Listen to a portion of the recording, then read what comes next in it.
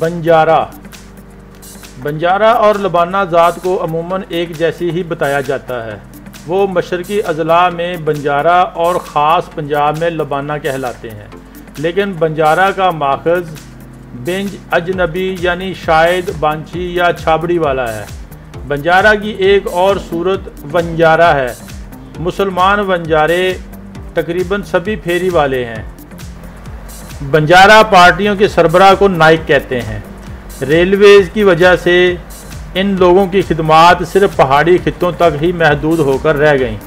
बंजारों के हम मायनी नाम बसाती या मनियार खोजा और प्राचा भी हैं। अमृतसर के बंजारों की गोतों में मनहास खोखर और भट्टी शाखें भी बताई जाती हैं।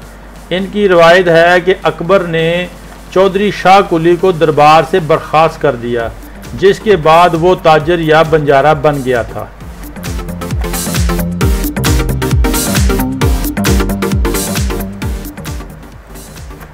बुरड़ा बुरड़ों का असल नाम होलीजा था। कुछ एक खुद को सम्मा शाख बताते हैं, लेकिन दीगर के मुताबिक वो एक अलहदा कबीला है। इनकी रवायात के मुताबिक वो जूनागढ़ के करीब गरनार के राजा की औलाद हैं, जो हिजरत करके सिंध आया और इस्लाम कबूल कर लिया। इससे इस्लाम कबूल करवाने वाले बुज़ुर्ग ने इसे बुर या जुब्बा चोगा का नाम दिया। बुल ब्यास और बलाई सिंध का एक जट कबीला है। इसे सिखू कबीले का कबीलचा भी बताया जाता है, जिसके साथ वो बाहमी शादियाँ नहीं करते। इनका जद अमजद का नाम भी ब्याबल बताया जाता है, जो मालवा से आने वाला एक राजपूत था। बुल का लफ्ज़ी मतलब ताकत है। कदीम हिंदुस्तानी तारीख में ये नाम काफ़ी मशहूर है और ये मुख्तलफ़ सूरतों में और मकाम पर नज़र आता है। अमृतसर के बुल कहते हैं कि वो बलमगढ़ से आए और ढिल्लों के साथ शादियाँ नहीं करते।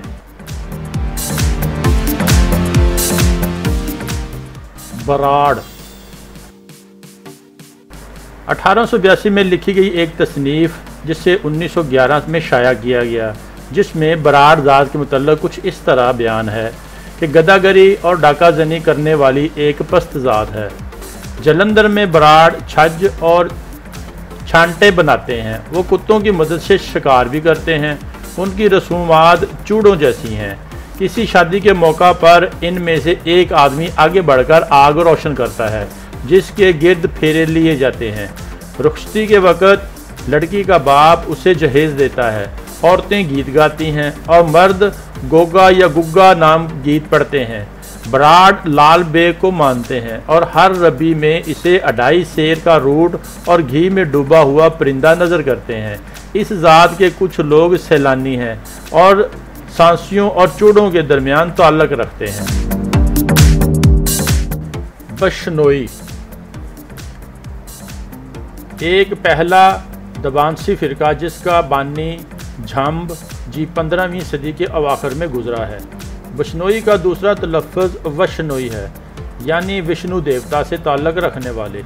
दर हकीकत बशनोई और वशनू से इम्तियाज़ करना बहुत मुश्किल है।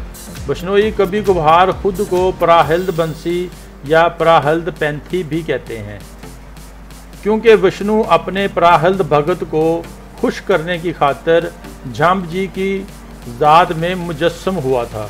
रवायत के मुताबिक पराहल्द के साथ 33 करोड़ दीगर इंसान तख्लीक हुए थे।